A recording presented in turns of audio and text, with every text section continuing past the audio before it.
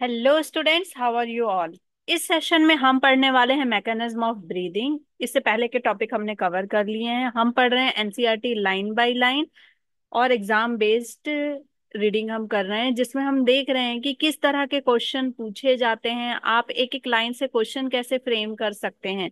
तो topic start करने से पहले हम करेंगे कुछ क्वेश्चन। हम देखेंगे कि हमने जो भी पढ़ा है, वो हमें कितना समझ में आया जब तक हम क्वेश्चन नहीं करते, तब तक समझ में नहीं आता है कि एक्चुअल हमें समझ में आया है कि नहीं। लगता है समझ में आ गया, लेकिन क्वेश्चन करने के बाद रियल फ्रेम आता है कि समझ में आया है या नहीं आया है। So let's start without any delay लेकिन स्टार्ट करने से पहले अगर आपने मेरे चैनल को अभी तक सब्सक्राइब नहीं किया है तो सब्सक्राइब कर दीजिए। देखते देखते कुछ पसंद आए तो लाइक भी कर दीजिएगा और बाद में शेयर भी कर दीजिएगा क्योंकि जब तक कहे ना लोग करते नहीं है सिर्फ़ देख के चले जाते हैं। सो so, ये काम करना ना भूलें। Let's start the session recap करते हैं प्रीवियस टॉपिक का। Dash which is harmful is also release during the catabolic reaction catabolic reaction के दौरान क्या निकलता है? CO two and S two O क्या एस टू ओ हार्मफुल है? नहीं मैम सीओ टू हार्मफुल है? यस मैम तो आंसर क्या आएगा? सीओ टू और एस टू ओ हम कितना निकालते हैं? पता है, हर दिन हम approx four hundred M L S two O during expiration निकाल देते हैं। Process of exchange of dash from the atmosphere with dash produced by the cell is called ये पूरी आपकी एनसीईआरटी की लाइन है। एटमोसफेयर से हम क्या लेते हैं? ऑक्सीजन और सेल से क्या प्रोड्यूस करते हैं? CO two is called breathing is called breathing इसको हम क्या बोलते हैं? Breathing which is commonly known as respiration breathing को रेस्पिरेशन क्यों बोलता है? ये मैंने डिटेल में समझाया हुआ है। Dash is biochemical process biochemical होता है respiration respiration is the biochemical process dash is continuous and mechanical process continuous process कौन सा है? आपका ब्रीदिंग भाई, सांस लेना, छोड़ना, दोनों इनहेलेशन एक्सहेलेशन कंटिन्यूअस चलते रहना चाहिए, नहीं तो सेल डाई हो जाएँगे। ऑक्सीजन थोड़ी देर के लिए भी नहीं मिलेगा तो एटीपी नहीं मिल, बनेगा तो सेल डाई होंगे स्पेशली आपके nerve cell spatial vascularized structure called dash whereas vascularize bag call ये भी एनसीआरटी की लाइन है आपकी। वस्कुलराइज स्ट्रक्चर क्या होगा? गिल्स है ना ट्रिकी थोड़ा सा इस पे ध्यान नहीं जाता। vascularized बैग क्या होगा? लंग्स क्या सारे एक्वेटिक एनिमल्स के पास गिल्स होता है? मोस्टली ठीक है? कुछ एक्वेटिक एनिमल्स जो हैं, जो मैमल्स हैं, उनके पास लंग्स होता है। ठीक है? लेकिन क्या सारे टेरेस्ट्रियल के पास लंग्स होता है? यस जो टेरेस्ट्रियल हैं, उनके पास लंग्स होता है। लंग्स से रेस्पिरेशन को हम क्या बोलते हैं? Pulmonary respiration next dash and dash is the initial steps of respiration breathing breathing and exchange of gases exchange of gases ये दोनों इनिशियल स्टेप्स हैं रेस्पिरेशन का। Nasal septum and C shape cartilaginous ring is made up of nasal septum जो बीच का bone है and C shape cartilage जो present होता है आपका पाथवे में। Is made up of dash cartilage is made up of hyaline cartilage and hyaline cartilage is the most abundant cartilage present in human body ये question आपका आ सकता है whereas epiglottis is made up of elastin cartilage ठीक है dash is a straight tube extending up to the mid thoracic cavity straight tube कौन सा है रेस्पिरेटरी ट्रैक में that is trachea that is trachea trachea is also known as wind pipe which divides at the level of dash कितने level पे वो divide हो जाता है? फिफ्थ थोरासिक वर्टिब्रा ठीक है? फिफ्थ थोरासिक वर्टिब्रा ओके यहाँ लंबार दे सकता है, कुछ भी दे सकता है सर्विकल दे सकता है। आपका क्या होना चाहिए? Fifth thoracic vertebra into right and left primary bronchi या ब्रोंकियोल ब्रोंकाई ब्रोंकाई याद रखना। सबसे पहले जो आता है वो छोटा नाम, फिर बड़ा नाम, bronchi, bronchiole, alveoli, alveoli alveoli sorry alveoli, veins, venules, ठीक है? तो ब्रोंकाई पहले आएगा, अक्सर बच्चे सीक्वेंस में गलत करते, ब्रोंकियोल पहले लिख देते, bronchi then bronchioles. A number of very thin, irregular walled, non-ciliated and vascularized bag non-ciliated है, vascularized bag है, जिसके चारों ओर कोलाजन एंड इलास्टिक है। तो वो क्या होता है बेटा? Alveoli alveoli.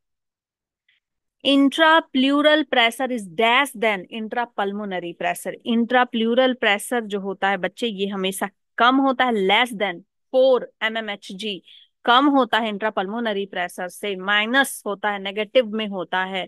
Okay intrapulmonary pressure के सो so दैट कि लंग्स का जो स्ट्रक्चर है वो मेंटेन रहे। अगर वो ज़्यादा हो गया तो वो लंग्स कोलैप्स हो जाएगा बच्चे। ठीक है, सिकुड़ जाएगा। और intra pulmonary pressure atmospheric pressure से कम होना चाहिए during inhalation so that air अंदर आ सके। इसको हम और डिटेल में समझेंगे। और अगर आपको कोई भी क्वेश्चन नहीं बन रहा है, आपको लग रहा है कि ये सब तो हमें नहीं आता तो आप मेरे जो प्रीवियस लेक्चर हैं, वो ज़रूर देखिए। इसका लेक्चर नंबर वन तो आपको सारे क्वेश्चन बनने लगेंगे। C shape cartilage is not present in कहाँ प्रेजेंट नहीं होता? पूरे स्ट्रक्चर में प्रेजेंट होता है। ट्रैकिया से लेकर के ब्रोंकियोल तक, लेकिन लास्ट जो ब्रोंकियोल है, टर्मिनल ब्रोंकियोल में नहीं प्रेजेंट होता है बच्चे, ब्रोंकियोल में नहीं प्रेजेंट होता है। Terminal bronchiole is attach to the alveoli. कौन सा ऐसा स्ट्रक्चर जो एल्वियोलाई से अटैच होता है? टर्मिनल ब्रोंकियोल, ठीक है? तो एक क्वेश्चन से कितने क्वेश्चन फ्रेम हो रहा है? और ये सारे आपके एनसीआरटी के लाइंस है।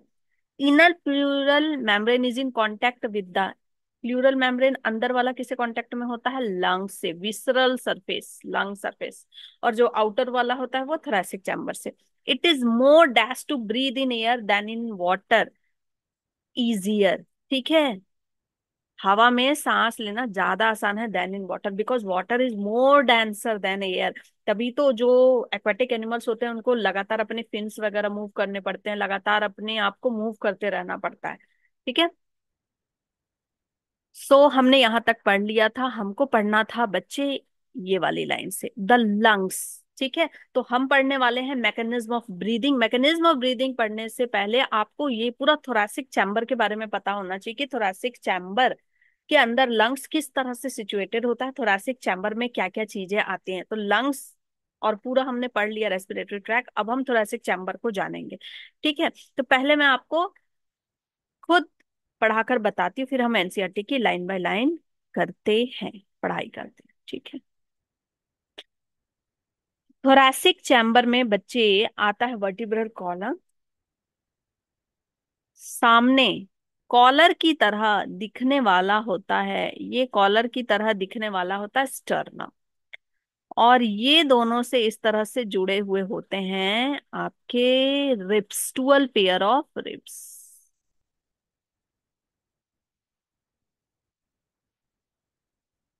ऐसे मैं ड्राइंग अच्छा बनाती हूँ बट इसमें बनाते नहीं बनता। अच्छा।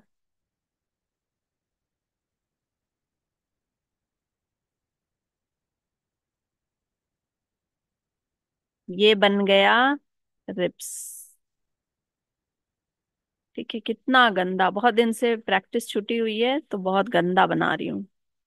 कोई बात नहीं, भावनाओं को समझो।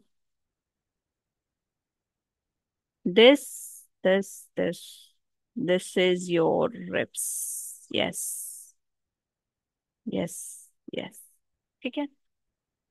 एज्यूम कर लो. दिस इज़ स्टर्नम स्टर्नम सामने वाली, ठीक है? वेंट्रली प्रेजेंट होता है. और this is vertebral column vertebral column ये हो गए आपके रिप्स रिप्स रिप्स के बीच में बच्चे इस तरह से प्रेजेंट होता है, इस तरह से ये जो प्रेजेंट है that is that is intercostal muscle ठीक है? क्योंकि ये बाहर की ओर प्रेजेंट है, इसको हम बोलेंगे एक्सटर्नल इंटरकोस्टल मसल अब इसको अगर हम अंदर की तरफ़ से देखें, ठीक है, इधर से देखें, इधर से तो बच्चे ये ना ऐसे, ये दोनों एक्सटर्नल और इंटरनल कोस्टल मसल ना एक्सटर्नल वाले इस तरह से प्रेजेंट होंगे सीधे सीधे और इंटरनल वाले ऐसे प्रेजेंट होंगे, ठीक है ट्रांसवर्स टाइप से। तो ये एक दूसरे के परपेंडिकुलर होते हैं तो इंटरनल इंटर कोस्टल मसल अब अगर नहीं समझ में आया तो मैं थोड़ा एक एग्जांपल देके बताती हूँ। छाता देखे हो? यस मैम देखें बारिश का मौसम है, लेके जाते हैं। छाता में जो स्टील का या लोहे का, ये जो इस तरह से होता है स्ट्रिंग ठीक है, इसको समझ लो रिप्स है। उसको समझ लो, ये सब क्या है रिप्स उसके बीच में जो कपड़ा है बेटा, कपड़ा है, बाहर देखते हो ब्लैक कलर का होता है। ब्लैक ब्लैक कलर का होता है। तो वो समझ लो एक्सटर्नल इंटरकोस्टल है, एक्सटर्नल इंटरकोस्टल, ठीक है? और अंदर की तरफ़ देखते हो, अंदर की तरफ़ वो कैसा दिखता है? सिल्वर टाइप का। अगर ब्लैक वाला छाता देखो तो अंदर सिल्वर जैसा लगता है। तो सिल्वर वाला क्या हो गया? Internal intercostal muscle. तो वैसे ही हमारे रिप्स जो हैं रिप्स में बाहर से मसल, ठीक है? बाहर से मसल है तो बाहर वाले मसल कैसे को क्या बोल रहे हैं एक्सटर्नल और अंदर वाले मसल को क्या बोल रहे हैं इंटरनल जैसे चीक है। ये बाहर कैसा दिख रहा है और अंदर कैसा दिख रहा है है ना? तो बाहर वाला अलग दिख रहा है, अंदर वाला अलग दिख रहा है। तो वैसे ही रिप्स के अं- में भी बाहर वाला एक्सटर्नल इंटरकोस्टल है और अंदर वाला इंटरनल इंटरकोस्टल मसल है। ठीक है? दो मसल्स हैं लगे हुए। इतनी बात समझ में आ गई? जी मैम, समझ में आ गई। ओके? तो हमने क्या पढ़ा कि जो आपका थोरैसिक चैम्बर है बच्चे थोरैसिक चैम्बर ठीक है? थोरैसिक चैम्बर जो है, उसमें क्या क्या चीज़ें हैं? स्टर्नम है स्टर्नम कैसे प्रेजेंट है? Ventral ventral sternum sternum ventral समझते हो? वेंट्रल डॉर्सल वेंट्रल डॉर्सल की एक ट्रिक है बच्चे। देखो आप वी शेप कल गले का कोई कोट पहनते हो, कोट पहनते हो, यहाँ पे टाई लगाते हो। लगाते हो वी शेप गले का कोई भी चीज़ पहनते हो, वो आगे रहता है। पीछे तो नहीं पहन लेते हो। स्वेटर पहनो या तो ये वेंट्रल है। वी फॉर वेंट्रल बता रहा है वो वेंट्रल और यहाँ टाई हो गई स्टर्नम ठीक है? डॉर्सल वर्टिब्रल कॉलम है। मैं शॉर्ट में लिख दू? वर्टिब्रल कॉलम और आपका लैटरल लैटरल क्या प्रेजेंट है? रिप्स प्रेजेंट है। पोस्टेरियर पोस्टेरियर पोस्टेरियर क्या प्रेजेंट है? डायफ्राम ठीक है?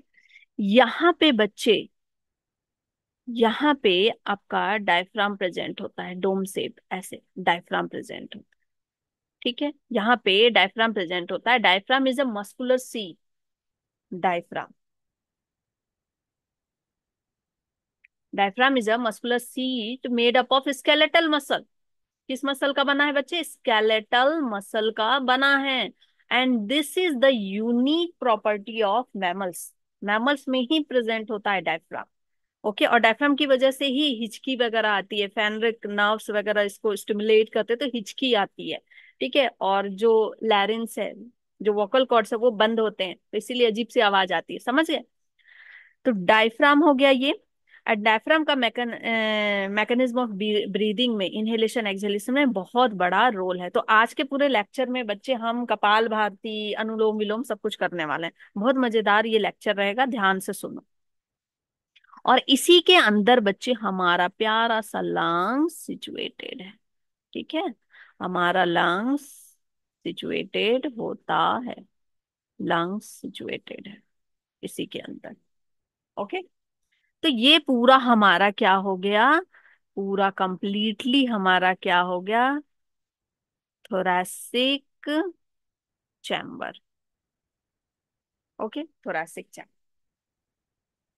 तो पोस्टेरियर ये वाला पार्ट क्या कहलाता है? पोस्टेरियर नीचे वाला, ऊपर क्या हो गया? एंटेरियर तो पोस्टेरियर डायफ्राम हमारा प्रेजेंट है। तो ये सारी चीज़ें समझ में आ गई आपको? यस मैम समझ में आ गई। चलो, अब हम आगे बढ़ते हैं। यहाँ क्या लिखा है एनसीआरटी में? The lungs are situated in thoracic chamber thoracic chamber में लंग्स सिचुएटेड होते हैं which is anatomically air tight chamber बहुत ही एयर टाइट चैम्बर है वो। द थोरासिक ऐसा नहीं है कि मतलब चैम ये है आपका थोरासिक चैम्बर, उसमें लंग्स हिल डुल रहा है। बिल्कुल ऐसे ऐसे हिल डुल रहा है। आप दौड़ रहे हैं तो बिल्कुल लंग्स ऐसे वैसे हिल डुल रहा है। नहीं, बिल्कुल एयर टाइट है भाई। The thoracic chamber is form dorsally. By the vertebral column dorsally आपका वर्टिब्रल कॉलम है वेंट्रली स्टर्नम है लेटरली रिब्स है on the lower side dome shape diaphragm है posteriorly the anatomical setup of lungs in thorax is such that any change in the volume of thoracic cavity will be affected in the lungs cavity ये आपका statement वाला question बन सकता है बच्चे। This could be your statement question ठीक है? ये स्टेटमेंट बेस्ड क्वेश्चन बन सकता है कि क्या वॉल्यूम ऑफ़ थोरेसिक चेंज करने से लंग्स में कोई फ़र्क पड़ता है? यस पड़ता है। आपका थोरेसिक चैम्बर फैलेगा तो लंग्स भी फैलेगा। थोरेसिक चैम्बर रिड्यूस होगा तो लंग्स। सब कुछ साथ फैल रहा है ना? सब अटैच्ड है। पिछले लेक्चर में बताया था मैंने कैसे अटैच है। ठीक है? और रिड्यूस होगा तो सब रिड्यूस होगा। Such an arrangement is essential for breathing. ये ब्रीदिंग के लिए ज़रूरी है and we can not directly alter the pulmonary volume क्योंकि हम पल्मोनरी वॉल्यूम को हम डायरेक्टली अल्टर नहीं कर सकते। ये नहीं कि मतलब मेरा थोरासिक चैम्बर तो उतना ही रहेगा, मैं सिर्फ़ लंग्स को फुलाऊँगा। देखता हूँ थोरासिक चैम्बर क्या कर लेता है। ऐसा नहीं कर सकते ना आप। तो यहाँ पे भी बच्चे आपका क्वेश्चन बन रहा है कि ये अरेंजमेंट क्यों ज़रूरी है? पहला आपका सर्सन हो गया, ठीक है? इस तरह का होता है। दूसरा रीजन हो गया कि क्यों ज़रूरी है भाई? Because we can not directly alter the pulmonary volume assertion reason ठीक है? एसरसन रीजन वाले क्वेश्चन बन गए बेटा। तो ऐसे क्वेश्चन फ्रेम होते हैं। और आपका पहले वाले लाइन से क्या बन जाएगा कि which of the following is true ventrally sternum दिया तो आपको दे देगा। डॉर्सली स्टर्नम थोरैसिक चैम्बर का स्ट्रक्चर हमने समझ लिया। अब समझते हैं mechanism of breathing mechanism of breathing किस तरह से हम इनहेल करते हैं एक्सहेल कैसे करते हैं? Breathing involves two stages inspiration जिसको हम इनहेलेशन भी बोलते हैं एंड एक्सपायरेशन इनहेलेशन में एटमॉस्फेरिक एयर को अंदर लेते हैं एक्सहेलेशन में रिलीज़ आउट करते हैं। कौन सा एयर एल्व्यूलार एयर ये पता होना चाहिए। कौन सा एयर हम रिलीज़ आउट करते हैं? Alveolar air the movement of air into and out of lungs is carried out by creating a pressure gradient ma'am ये क्या है? अंदर जो एयर जा रहा है और जो बाहर एयर जा रहा है, ये किसकी वजह से हो पाता है? प्रेशर ग्रेडियंट की वजह से। लंग्स और एटमॉस्फेयर के बीच में। देखो बच्चे मैकेनिज्म ऑफ़ ब्रीदिंग समझने के लिए आपको एक इंपॉर्टेंट चीज़ समझना बहुत ज़रूरी है, ठीक है? मैकेनिज्म ऑफ़ ब्रीदिंग अगर ये प्रिंसिपल एंड लॉ आप समझ लेते हैं, उसके बाद मैकेनिज्म ऑफ़ ब्रीदिंग आपके लिए चुटकी का खेल हो जाता है। इससे आने वाले कितने भी क्वेश्चन आप आराम से बना लेंगे। So mechanism of breathing. देखो we know that we know that substances move from high concentration area to low concentration area. Substances move from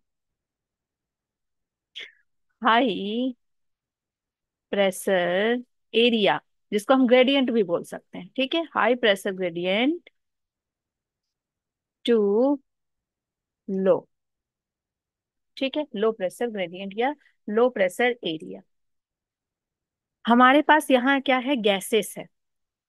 कौन कौन से गैसेस सबसे पहला है ऑक्सीजन ऑक्सीजन एटमॉस्फेयर में कितना है? एटमॉस्फेयर में है ट्वेंटी वन परसेंट। बॉडी में ऑक्सीजन कितना है? Sixteen percent. तो ये किधर से किधर जाएगी? हाई से लो की तरफ़ जाती है तो एटमॉस्फेयर से बॉडी की तरफ़ ऑक्सीजन आना चाहेगी। नेक्स्ट सीओ टू की बात करते हैं। सीओ टू एटमोस्फेयर में कितना है? Ma'am, zero point zero four percent. Very good. CO two body में कितना है बच्चों?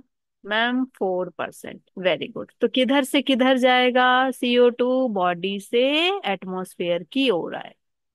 बात करते हैं नाइट्रोजन की। नाइट्रोजन एटमॉस्फेयर में कितना है? सेवेंटी एट परसेंट बॉडी में कितना है? एल्मो ऑलमोस्ट उतना ही। थ्री परसेंट से लेकर के ऑलमोस्ट इतना ही नाइट्रोजन होता है। नाइट्रोजन इन बॉडी ठीक है? तो क्या होगा? क्या होगा इसका प्रेशर ग्रेडियंट किधर से किधर जाएगा। बच्चे, अगर बॉडी में कम है नाइट्रोजन तो थोड़ा बहुत नाइट्रोजन पास हो जाएगा। एल्वियोलाई से क्या नाइट्रोजन पास होता है? हाँ होता है इजिली गैस है ना पास हो जाता है। But being in reactive inactive तो ये हीमोग्लोबिन से अटैच नहीं होता। हीमोग्लोबिन से ये कब अटैच होता है? जब ये नाइट्रस ऑक्साइड बन जाता है। एनओ के फॉर्म में, जैसे कार्बन मोनोऑक्साइड तो नाइट्रस ऑक्साइड जब ये बनता है, तब ही हीमोग्लोबिन देखो हीमोग्लोबिन भाई किसी को तब लेगा जब उसके साथ ऑक्सीजन तो कार्बन के साथ ऑक्सीजन है तब उसको ले जाता है। नाइट्रस के नाइट्रोजन के साथ ऑक्सीजन होगा तब उसको ले जाएगा। कार्बन के साथ ऑक्सीजन होगा कार्बन मोनोऑक्साइड बनेगा तब उसको ले जाएगा। ठीक है? अकेले नहीं ले जाएगा नाइट्रोजन को। सो so, नाइट्रोजन को वो एंटरटेन नहीं करता बॉडी ब्लड स्ट्रीम में नहीं ले जाता। बोलता है क्या काम है तुम्हारा? अंदर ऑलरेडी बहुत नाइट्रोजन है भाई। तुम्हारा कोई काम नहीं है। तो ये थोड़ा बहुत अंदर आ भी जाए तो ये पास आउट हो जाता है क्योंकि नाइट्रोजन ऑलरेडी बॉडी में है। ओके? नेक्स्ट आपको एक चीज़ और समझना है that is Boyle's law Boyle's law Boyle's law क्या कहती है बच्चे? बॉयल्स लॉ कहती है मैम कि volume is inversely proportional to pressure अगर हम वॉल्यूम बढ़ा देते हैं, अगर हम लंग्स का वॉल्यूम बढ़ा देंगे मैम लंग्स का वॉल्यूम बढ़ा देंगे। बढ़ा दिए? तो अंदर प्रेशर कम हो जाएगा, प्रेशर कम होगा। तो कोई चीज़ किधर से किधर आती अभी हमने पढ़ा, हाई प्रेशर से, हाई प्रेशर से लो प्रेशर की ओर। कोई भी चीज़ किधर से किधर आती हाई प्रेशर से लो प्रेशर की ओर। तो जब हम वॉल्यूम बढ़ाएँगे, प्रेशर घटेगा तो बाहर में ऑक्सीजन है। ऑक्सीजन है, ऑक्सीजन कहाँ जाएगी? ऑक्सीजन मिल रहा इनटू लंग्स। तो इस, क्या होगा? इनहेलेशन। तो इनहेलेशन के दौरान क्या होता है? हम लंग्स को बड़ा करते हैं। तो मैंने आपसे क्वेश्चन पूछा था कि एयर लेते हैं इसलिए लंग्स बड़ा होता है या लंग्स बड़ा करते हैं इसलिए एयर अंदर जाता है? तो बच्चे, हमको प्रेशर घटाना है। ठीक है, हमको प्रेशर को घटाना, हमको ऑक्सीजन लेना है तो प्रेशर घटाना तो हम ऐसी प्रेशर थोड़ी घटा सकते ए लंग्स प्रेशर कम कर, बोल के तो नहीं कर सकते, या आज तो मैं प्रेशर कम कर लूँगा, ऐसा नहीं हो पाएगा, ठीक है, बोल के नहीं हो पाएगा। आपको क्या करना है? बड़ा करो वॉल्यूम करो, अपने आप प्रेशर कम हो जाएगा ठीक है? लंग्स प्रेशर कम, इसलिए बोलते ना कि जब आप बहुत ज़्यादा प्रेशर में हो तो इनहेल करो, अंदर का प्रेशर कम करो, समझे? तो इनहेल करो। बड़ा हुआ लंग प्रेशर कम, अंदर प्रेशर कम। तो अच्छी चीज़ें पॉजिटिविटी ऑक्सीजन अंदर आएगी। ओके इनहेलेशन ऐसी बॉयल्स लॉ क्या कहती है? जब हम प्रेशर कम करेंगे, जब हम प्रेशर कम करेंगे, ठीक है? ठीक है? प्रेशर कम प्रेशर ज़्यादा करेंगे तो वॉल्यूम क्या हो जाएगी? घट जाएगी। तो भाई, हम तो प्रेशर ज़्यादा नहीं कर सकते। हम क्या करते हैं? वॉल्यूम घटा सकते तो हम क्या कर रहे ठीक है? वॉल्यूम घटा रहे हैं तो प्रेशर बढ़ रहा है। वॉल्यूम घटा रहे प्रेशर बढ़ रहा है। ठीक है? प्रेशर बढ़ रहा है तो यहाँ से अंदर से थोड़ी देर सांस ऐसे घटाओ और रोक के देखो। लगता है कितनी जल्दी अंदर से चीज़ें बाहर निकल आए, है ना? प्रेशर ज़्यादा हो गया। तो ये क्या होंगे? बाहर जाएँगे, अंदर। अंदर क्या है? सीओ टू भर जाएगा। सीओ टू अंदर भर जाएगा और सीओ टू कहाँ जाना चाहेगा? बाहर की। ठीक है? हाई प्रेशर से लो प्रेशर की ओर चीज़ें जाना चाहेंगी। इज़ दिस क्लियर तो वॉल्यूम अगर हम बढ़ाते हैं तो प्रेशर घटता है। वॉल्यूम बढ़ाए इनहेलेशन में प्रेशर घट गया तो बाहर से ऑक्सीजन अंदर आ गया इनहेलेशन वॉल्यूम घटाए, प्रेशर बढ़ गया, अंदर से चीज़ें बाहर चली गई। एक्सहेलेशन ओके यही लिखा है बेटा आपके एनसीईआरटी में, अभी हम पढ़ेंगे। Pressure gradient okay pressure gradient maintain करना यही चीज़। है तो इससे हम पूरा क्या समझे कि अगर आप दिल बड़ा करोगे ना, दिल बड़ा करोगे, अंदर जो है आपके प्रेशर कम होगा तो आपसे हर कोई मिलना चाहेगा, आपके पास आना चाहेगा। दिल छोटा कर लोगे, कुड़ कुड़ करते रहोगे तो प्रेशर बढ़ा रहेगा, कोई आपके पास नहीं आना चाहेगा, अरे भाई, वो तो प्रेशर में रहता है, गुस्से में रहता है, कोई आना है ना? ठीक है? ओके ये हमने पढ़ लिया inspiration can occur if the pressure within the lungs intrapulmonary pressure pressure within the lungs इसको हम क्या बोल रहे हैं? Intrapulmonary pressure is less than atmospheric pressure कब होगा इनहेलेशन जब लंग्स के अंदर का प्रेशर कम होगा। कहाँ से? एटमॉस्फेयर के प्रेशर से। एटमॉस्फेरिक प्रेशर कितना है बच्चे? 762 760 M M H G seven M M H G तो अंदर कितना होना चाहिए? एटलीस्ट अंदर कितना होना चाहिए? 756 एम एम एच जी ठीक है 756 M M H G pressure कम होना चाहिए एटमॉस्फेयर के प्रेशर से।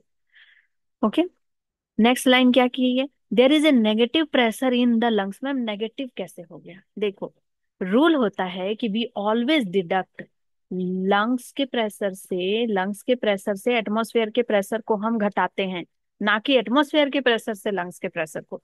तो लंग्स में प्रेशर कितना है? सेवन फिफ्टी सिक्स एटमॉस्फेयर में सेवन सिक्सटी तो हो गया ना minus four minus four M M H G. ठीक है? तो ड्यूरिंग इनहेलेशन इनहेलेशन के दौरान क्या होता है? वॉल्यूम बढ़ाते हैं। ठीक है? सिर्फ़ इतना याद रखना। इनहेलेशन के दौरान वॉल्यूम बढ़ाते हैं। वॉल्यूम बढ़ा तो प्रेशर घटा। प्रेशर घटा कैसे? कितना घटा? Minus four M M H G घट गया। तो ये क्या है? नेगेटिव। ठीक है नेगेटिव प्रेशर हमारे लंग्स में आ जाता है during inhalation with respect to atmospheric pressure atmospheric pressure के रेस्पेक्ट में नेगेटिव प्रेशर आ जाता है। सिमिलरली एक्सपायरेशन जब होगी ड्यूरिंग एक्सहेलेशन एक्सहेलेशन के दौरान क्या होगा? Similarly expiration takes place when the intrapulmonary pressure is higher than the atmospheric pressure. जब intrapulmonary pressure, ठीक है, ये लंग्स है यहाँ पे प्रेशर ज़्यादा होगा। कितना होगा? एटमॉस्फेयर में प्रेशर अगर 760 जी है तो वहाँ 762 हो सकता है। या फिर मान लो यहाँ 756 है तो यहाँ कितना हो जाएगा? 760 जी हो जाएगा। तो यहाँ पे क्या होगा बच्चे? पॉजिटिव। प्रेशर क्या होगा? पॉजिटिव। और इनहेलेशन में प्रेशर क्या होगा? नेगेटिव। ये चीज़ आपको पता होनी चाहिए। एक्सहेलेशन में प्रेशर ज़्यादा है, पॉजिटिव इनहेलेशन में क्या है? प्रेशर कम है, नेगेटिव हो गया। ठीक है? हम्म।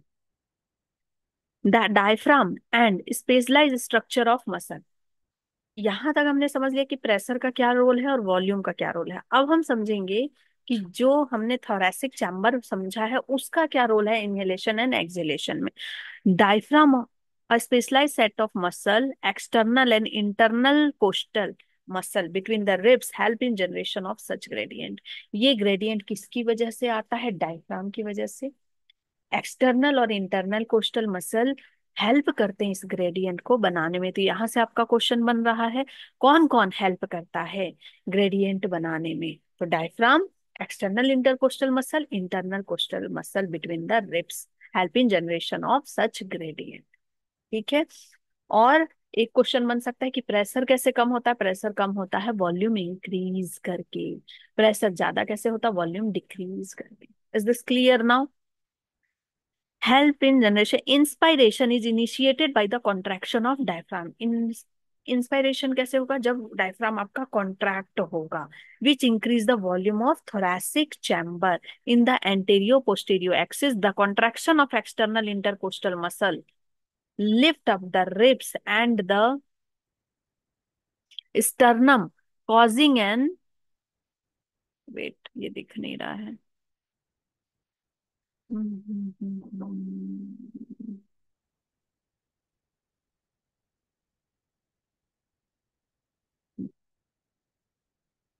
Causing stun causing an increase in the volume of the thoracic chamber in the dorsoventral axis.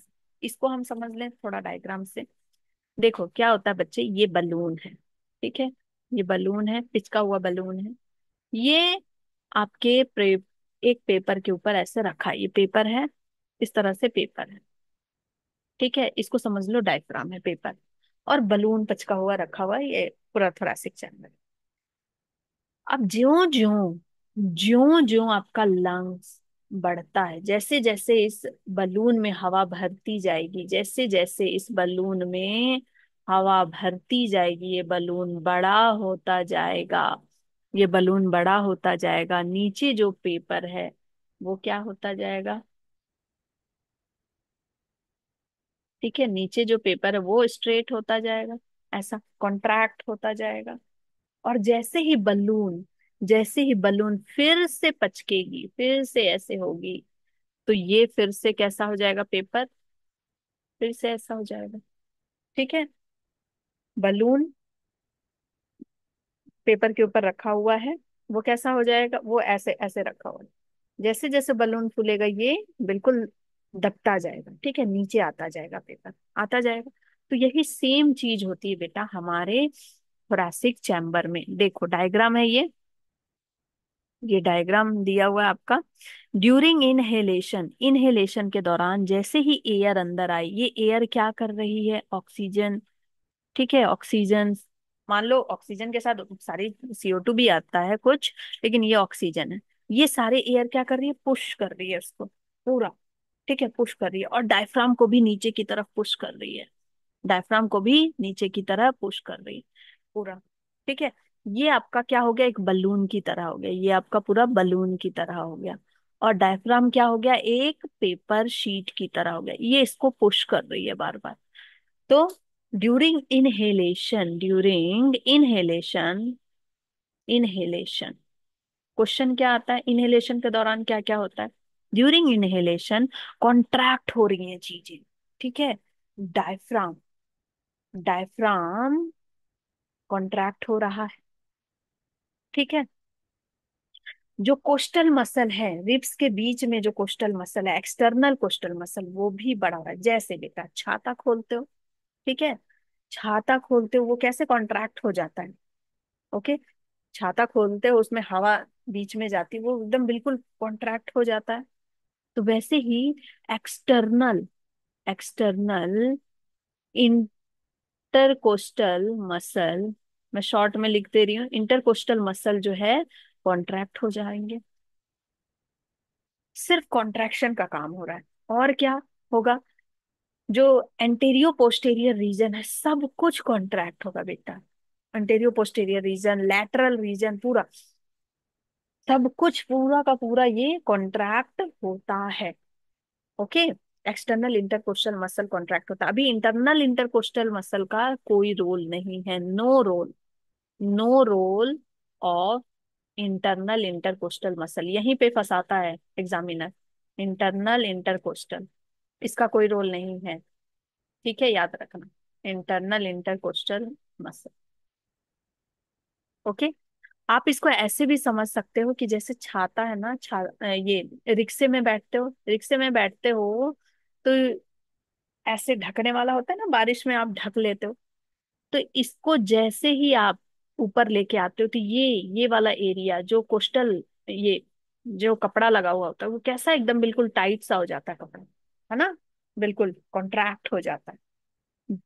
तो वो क्या है आपका इंटरनल कोस्टल मसल है। अम्ब्रेला में मैंने बताया ये बिल्कुल खुलता है तो ये कैसा होता है बिल्कुल कॉन्ट्रैक्ट हो जाता है।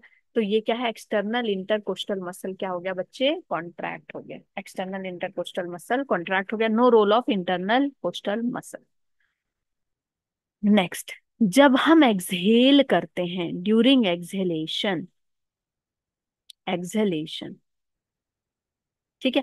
और ये कैसा प्रोसेस है बेटा? एक्टिव प्रोसेस है। इसमें एनर्जी लगती है। एक्टिव प्रोसेस है। ओके इंटरनल इंटर एक्सहेलेशन में क्या होगा कि सारी चीज़ें क्या हो रही है रिलैक्स हो रही हैं। जैसे ही जैसे ही बलून पचका जैसे ही बलून पचकना शुरू किया जैसे ही बलून पचकना शुरू किया लंग्स आपका बलून की तरह ये क्या हो रहा है ये डोम शेप का हो जा रहा है ठीक है? ये रिलैक्स हो जा रहा है। हमेशा ये डोम शेप में ही रहता है ये रिलैक्स हो गया। बाकी भी सारी चीज़ें सा, भाई अंदर बिल्कुल आ, बहुत सारे भी लोग आ गए थे भीड़ था। सब चले गए तो सब रिलैक्स हो गया बिल्कुल रिलैक्स है ना? तो during exhalation diaphragm relax inter sorry external intercostal muscle external जिसको समझ में आ गया, वो टू एक्स की स्पीड पे देख सकता है। ठीक है? Inter external intercostal muscle muscle relax ठीक है? Anterior posterior region anterior posterior region जितना होगा। ऊपर नीचे सब रिलैक्स हो जाएँगे, ठीक है? रिब्स के बीच में, साइड में सब रीजन रिलैक्स। ये पूरा रीजन बच्चे नीचे से ऊपर, दाएँ से बाएँ, सब कुछ देखो रिलैक्स हो जाएगा, ऐसे। ठीक है? Lateral lateral dorso ventral region, lateral dorso ventral dorso ventral region सभी क्या हो जाएँगे? रिलैक्स हो जाएँगे। रिलैक्स। जैसे आप रिलैक्स ठीक है? अब यहाँ क्या रोल है? इंटरनल इंटरकोस्टल का बेटा यहाँ भी कोई रोल नहीं। No role. No role of internal internal intercostal. Intercostal muscle and this is the passive process. This is the passive process. अब सवाल आता है कि मैम इंटरनल इंटरकोस्टल मसल का कहाँ रोल है? जब यहाँ कहीं रोल ही नहीं है तो कहाँ पे रोल है? है रोल जब आपके पीछे कुत्ता पड़ जाता है, ठीक है? आप दौड़ते हुए दौड़ते हुए एकदम तेज, बिल्कुल पेट एकदम दबा दबा के, है ना? किसी तरह बसते बसते आया। किसी तरह बसते बसते आया हूँ। जब आप इस तरह से भागते हैं या फिर आपको सुबह सुबह पापा बैठा देते हैं कि भाई रामदेव बाबा का योगा करना, आप कपाल भारती कर रहे हो। पूरा पेट दबा रहे हो, पेट आपका पूरा दब रहा है। अंदर से जितना ज़्यादा एक्सहेल कर सकते हो, उतना कर रहे हो। पेट पूरा दर्द होने लगा। करते करते कपाल भाती या फिर खांस रहे हो, ठीक है? खांस के देखो, पूरा पेट एकदम दबता है अंदर की ओर, ठीक है? यहाँ पे एब्डोमिनल मसल भी वर्क करते हैं आपके। एब्डोमिनल मसल जब दबता है तो वो डो जो आपका डायफ्राम है, उसको और ज़ोर से धक्का देता है। और इसकी वजह से इंटरनल इंटरकोस्टल मसल जो है, और ज़्यादा सिकुड़ते हैं, ठीक है? यहाँ पे इंटरनल कोस्टल मसल का वर्क है। यहाँ पे इंटरनल कोस्टल मसल बिल्कुल और कॉन्ट्रैक्ट होते हैं कि ज़्यादा से ज़्यादा एयर हम एक्सहेल से कर सके। कैसे करके देखो, कपाल भाती करके देखो, ठीक है? Normal inhalation exhalation is anulom vilom, ठीक है? और जब कपाल भारती आप कर रहे हैं, वहाँ पे इंटरनल इंटरकोस्टल मसल का यूज़ है, ठीक है? इंटरनल